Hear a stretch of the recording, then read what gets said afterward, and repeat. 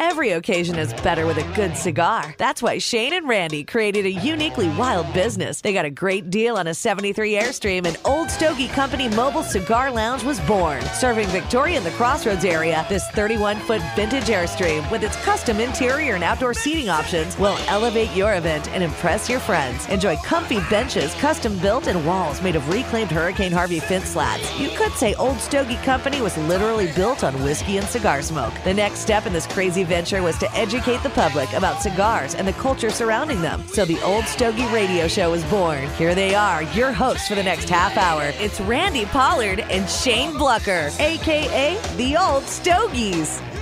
Thank you, Stacy. We are the Old Stogies. I'm Randy. And I'm Shane. And Shane and I have Old Stogie Company. We are a mobile cigar lounge that we've built into a 31 foot Airstream trailer. Her name is Stella Stogie. We provide not only great cigars for sale on location, but a really nice, comfortable place to sit and smoke and just let the day run off of you. Old Stogie Company is available for private events for fundraisers, weddings, and parties. Be sure and check our website, oldstogiecompany.com, for pricing. Now, we also do public events. Talk a little about that, Shane. So, yeah, we show up at a bunch of different locations in the Crossroads area. Um, and in those events, everyone's invited. Yes, the, those are the ones that are open to the public. Um, we're there selling cigars, nice air conditioned place for everybody to hang out in. Um, most of the events, you're allowed to bring your drinks in, so we have a good time. Hope to see you there. So, Shane, how Yes, was your sir. weekend? Yeah, it wasn't bad, you know. Yeah. Our house is on the market, so it seems like it seems, Really? Yeah, every spare minute's working on the house. But Yeah, one thing I like about at least yard work Yeah. is I need to get me a nice yard cigar, a yard gar. Yard guard. Yeah, jump on that riding lawnmower and just ride around and you know, Yeah. Cut grass, smoke a cigar. yeah, that's Yeah. it. Yeah, and uh, our son was actually in town this weekend. Oh, Drew. Yeah, Yeah. he just popped in, um, brought his dirty laundry, and looking for some groceries to take back with him. so Ah, Very good. Yeah, he's a he works at a bank right now, but he's also a musician. So we got a, a, a YouTube channel idea that we're gonna start for him that could be a lot of fun. So keep an eye. We'll, we'll talk about that more later Okay, in the great. future. Yeah. But yeah, it, it should be fun. There there might be fines and bail money involved, but yeah, it sounds well, like it could be really good thing. You know what I say? It's not a party till something gets broke. yeah. So there you go. There you go. Hey, what kind of music does he play? Uh, any. Any. Yeah. He also, as he calls it, makes beats on the computer. I and see. yeah, he sells those actually though. Really? He really does. Yeah. He sells beats. He sells, yeah, not the Does he, little red does he grow, on him, Yeah. grow 'em himself? I knew where you were headed. Okay.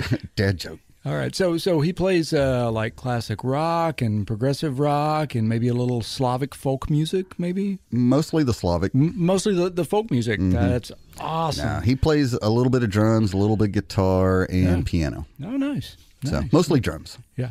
Oh, very cool. Very cool. Old Stogies, what's going on, guys? Hey, Hey, Stacy. Stacy. Stacy Taylor here at Club Classic Rock. So I've been listening the last several weeks to your Old Stogie radio show. You guys are kicking butt. Ah, well, thank you. Thank you. We've got a great producer. It's taken me 20 years to get to where you are now.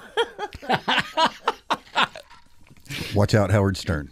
That's it. Yeah. Yeah. no kidding. Just saying. This is so cool. So out and about the Old Stogie. I've seen your Airstream parked right there on Main. How old is that thing again? 46, right? 40, 46 years. She's 1973. And when did you renovate that thing? Oh, that was done from October through January. Wow. so this, this is a new baby year- for you, a new year. venture. Yes. New venture, yeah. About eight months into it. Yeah, and and about eight months why into cigars? Is it like you both are cigar fanatics? Is that what got this going? It sounds like it was a uh, over a drink or two and a stogie, and this little baby was born. It's more than a drink or two. Yeah, more than a drink or two or stogie or two. And no, we used, you know, we've been friends a long time. We'd sit out on the back porch, have a cigar, have a bourbon, and just talk about whatever. And uh, then we, we saw one of these up in the hill country, and it's like, okay, we have something new to talk about. And then about two months later, we bought an Airstream, and there we were. And there you were. And Yep. what a cool retro thing. Thank Anybody that likes that like old VW bus is gonna love this Airstream.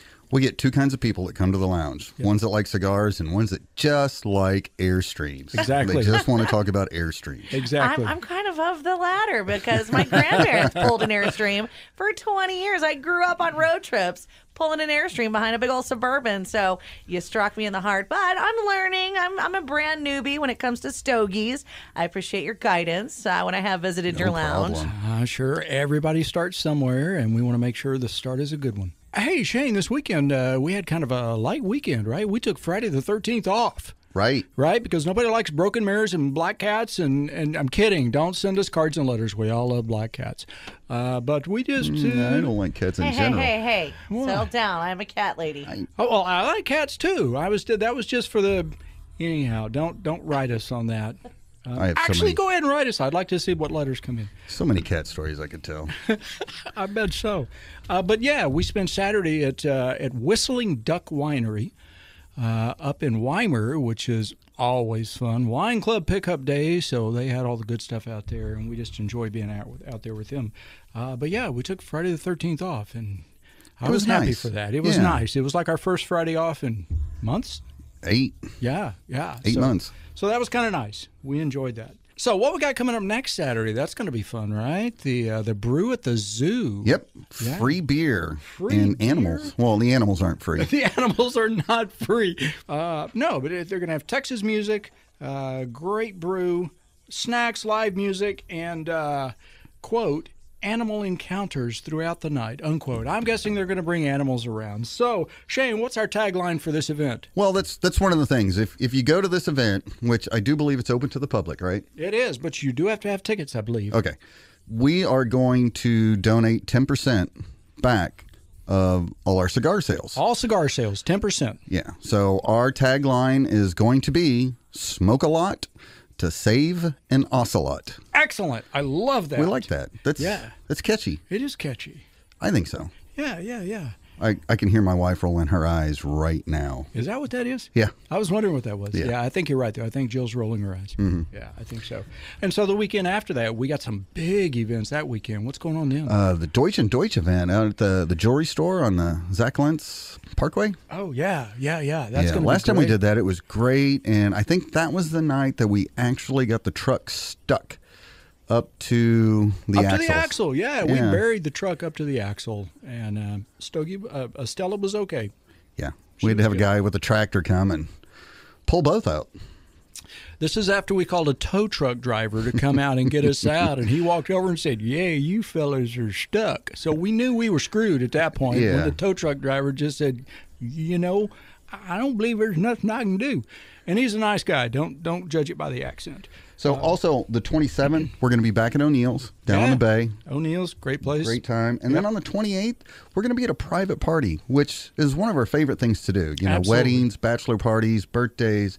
We've even been known to do a Super Bowl party. Yep. Um, with Christmas coming up, call us. We can do a great Christmas party Oh, setup. corporate Christmas parties. Yes. Or How any cool corporate would party. that be, or, or any corporate party for that matter? But it's getting that time of year where uh, corporate Christmas party would just be absolutely fantastic. Call us, get that schedule, get on the calendar early because our, our November and December are definitely going to fill up. That's uh, 361 415 3100. oh, that was brilliant! Thank you. I didn't even think about uh, doing that. Yeah. So what do we got coming up in the next segment? I think we're going to just really touch on some, best way to describe it, horrible, horrible cigar advice. Excellent. Yeah. I love horrible cigar advice. We have a, a lot of entries for yeah, we, we do have a lot of entries. So uh, uh, stay stay through the music. You don't want to miss any of this. And we're going to be back in just a few. We're here on Club Classic Rock 1069.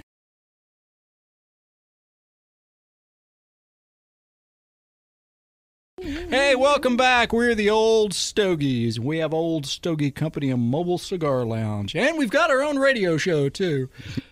we are just as surprised as everybody else out there.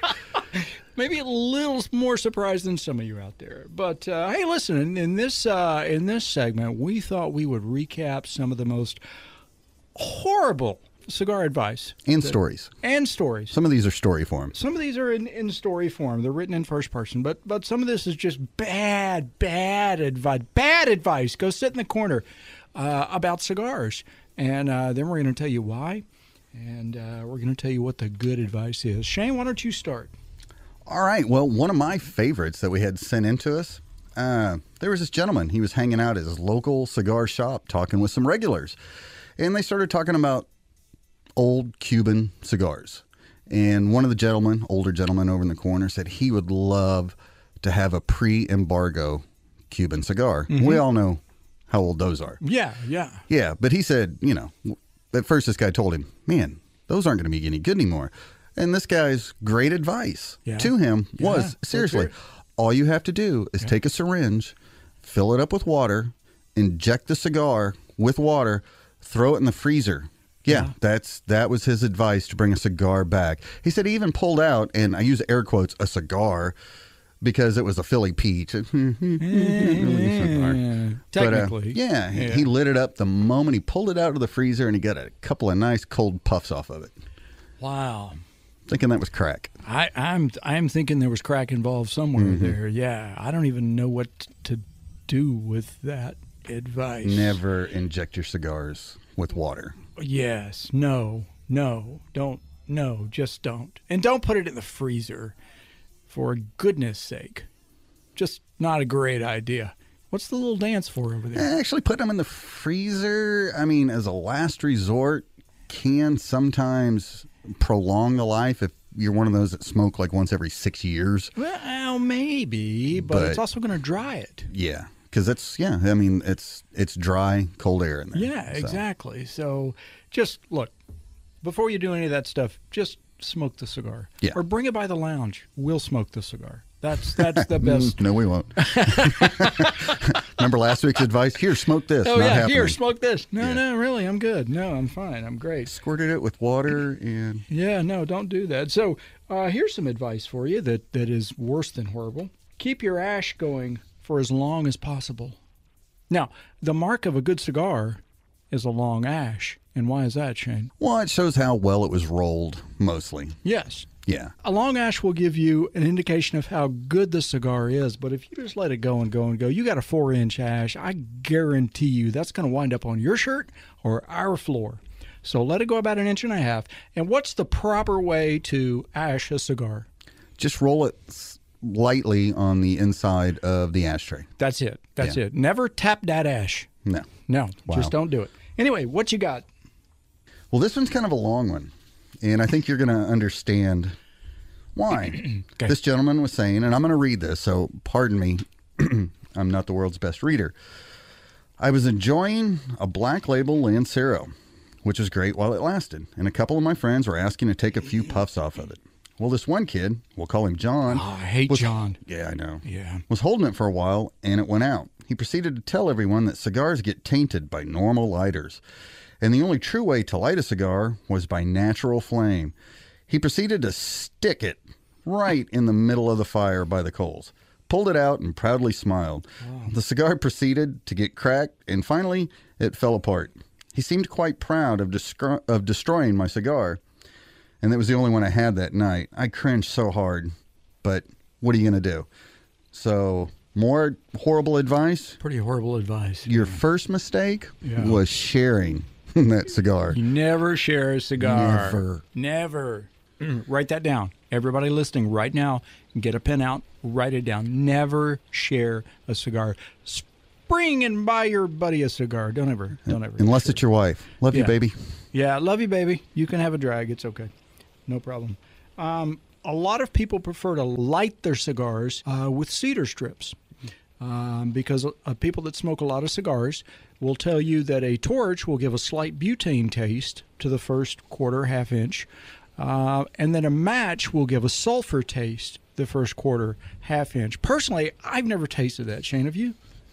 No, I really hadn't. Now, with the Bic lighters, yeah, a little bit, but I mean, it's like the first quarter inch or so, and Yeah. it's gone. It's gone. For There me. you go. But uh, we just recently added cedar strips in the lounge uh, to where if that is your preferred method of lighting, we can now accommodate you. So there. So I have one about lighting cigars. Oh, let's do that. Another guy in a cigar shop. Yeah. And they were all standing around talking about the proper way to light a cigar. Okay. When this older gentleman said that the perfect way to light a cigar Yep. is to toast the foot Okay. and then put the burning end in your mouth and blow really hard. That sounds like a perfect way to toast your throat. uh, I'm not sure about toasting that. What? I've seen people do that with joints, but not cigar. yeah, yeah, uh, yeah. Let's not do that. Let's uh, let's not do that. it's not safe, first of all, and second of all, it's just dumb. Um, so you don't want to be that guy for sure. Here's one. Here's some. Here's some great advice. Uh, great is in air quotes there, guys. You can't see it. Clip the head of your cigar, but smoke it from the foot. Mm-hmm. yeah, that's a good one. Yeah, that's a good one. Uh, no, not really. Yeah, good is in air quotes. That's right up there with you can grow tobacco by planting a cigar stub in your backyard. You know, I have had cigar nubs growing for about six months, and I'm not growing a damn thing. it is so great just to go out there and pick off a cigar and It really smoking. is. It really is. I planted it right next to my money tree because uh, that's how dumb that idea is. Yeah. So I have one more. Um, Okay. It's one of my favorites. There was this guy at the bar. Yep. And he was trying to tell everybody that he was a cigar expert. Gotcha. And the best way, the absolute best way to get the most enjoyment out of your cigar Yep. was to dip the foot in Yeah. into your scotch or your bourbon. Right. So he proceeded to take a cigar, unlit, and he dipped it about an inch, inch and a half into his shot of bourbon, This is the foot end. the foot end, the end okay. you light. Okay. Yeah. All right. I'm listening. Yeah, I've seen people dip the the head in. Yeah. Yeah. Yeah. Yeah. But- the cap. Yeah, the cap. But uh, no, he dipped the foot in and then proceeded to get horribly mad when it wouldn't light. Wow. wow. that's uh that's uh kind of self-inflicted uh, stupidity there, right? Yeah, I don't know about that. Oh, well, you know, we can sum all this up with this one right here. If you hold a cigar by the foot of it and hold it up to your ear, you can actually hear the ocean. And for you people that like flavored cigars, Yeah. after you light it, Yeah. dip the cap in in chocolate milk. That always seems to be a good one, Why have I never done that before? right? Because I'm not stupid. That's why. Chocolate milk? okay. All right. That sounds great. Well, listen, uh, you guys join us on the other side of the break. We got a few more of this really good advice that you do not want to miss. And we're also going to dip into the mailbag and we're going to tell you again where we're going to be over the next couple of weeks. So listen, enjoy the music. Club Classic Rock 1069.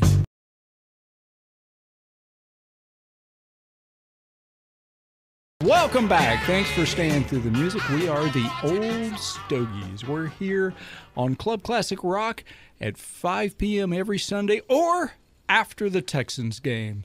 So hang around for both Texans game and the Old Stogies. Shane, you got some more bad advice for us? Yeah, actually, I do. And Oh, cool. Some of these are just horrible to think about. The worse, the better. Let's hear. Yeah, uh, this guy was telling a story um, how he bought an Arturo Fuente at a bar and we pulled the wooden sleeve off. Yeah. It was covered in mold Nice. underneath. So he mentioned it to one of the employees, like, "Hey, look at that." You know what their answer was? What? It was a sign that the cigar was aged well. It'll be fine. Go ahead. Oh, that's incredible. So you get your nicotine and penicillin all in one shot. Mold is not a good sign, just for the record. Uh, neither are if you open your cigar and it's got bugs in it. Those are called tobacco beetles, and those are not good. That's an indication that the cigar has not been stored correctly. Right. Here's one. We actually have somebody that has done this. What's that? I don't want to give out a name because I think the person will be embarrassed. Okay. But What was it? Me? no. Okay. This cigar advice, and I'm sure it's tongue in cheek, literally, is uh, to lick your cigar from head to foot to seal in the flavors. Wow. I I could go several places with that. I don't think I'm gonna. Mm-hmm. Yeah. I don't. I. to- And this is actual advice. Please do not lick the cap into your cigar and then hand it to us to cut it. Yeah. Because it's not going to happen. Yeah. No. We're not going to cut it at that Yeah, point. You're gonna gnaw that baby off at that point. yeah. Yeah. Wow, that's weird. Uh, well, you know, somebody wrote into us and told us that uh, their friends cuts uh, their cigar at the band, and then when he snips off a little at the shoulder, that he's doing it wrong. Mm-hmm. Yeah. So a, a proper cut on a cigar Is at the cap? is at the cap, but it should never go past the shoulder. Right. Yeah, because You're then you right. risk uh, uh, having the cigar unravel on you, having the wrapper come off, and then just bad things happen. And I've actually had somebody tell me that you should not smoke more than two thirds of the cigar. You should not get it down to a nub level. so you can plant the rest. No, because it makes you look poor. Oh, I see. Like you can't afford What cigars. If, what if I am poor? Can I do it? Right. Yeah. The best cigar advice that you could give somebody Yes. is absolutely nothing. Keep your mouth shut unless asked. If they don't beforehand. ask, just let them It's smoke not their life and death. It's a cigar. It's a cigar. It is. It's, it's an experience, and you want it to be a good one. But uh, yeah, your nose doesn't belong in their cigar. right. Yeah, yeah, yeah. So, hey, what do you think about going on to the mailbag now? I think Stacy's got some uh, mail for us. Stace, Yeah, I do have a couple of questions. Thanks, guys, for having me on this Sunday. Uh, I have a question here. How do I fix a cigar that's burning wrong? You ever encounter that in the lounge? Oh yeah, There's a multitude of different ways. Yeah, there's multitude. multitude. What would be your recommended? That's like an route? eleven dollar word. It well done. Depends on what's going wrong with it. If it's Yeah. running, sometimes you can just hit it with a lighter and you can correct it that way. Yes. If it's tunneling, tunneling's a whole completely different thing. And if people aren't familiar with tunneling, it just burns in the very center and not the wrapper or the edges burn. And sometimes before you realize that it's doing it badly, you've lost, you know, an inch of the cigar. At that point, if there's still enough cigar left, it's best just to snip it off and start over. Yeah.